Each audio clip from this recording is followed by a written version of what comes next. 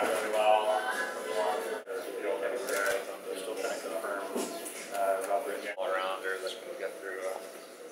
uh, and, also be there uh, at the end.